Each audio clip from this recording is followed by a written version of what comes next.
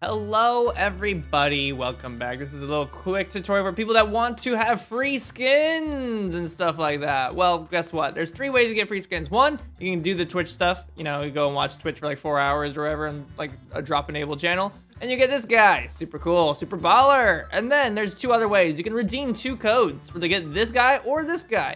And literally right here, Beard Box, that's literally all you have to type in for the redeem code. And then this one is Josh and Kato. I'll put the names in the, uh, actually in a, a pinned comment down below. But yeah, you just go to the item shop, click redeem, and enter those codes here. Beard box, and click redeem, or um, Josh and Kato. But that's basically it. If you want to get those free skins, go get them, and I'll see you all later. Bye-bye.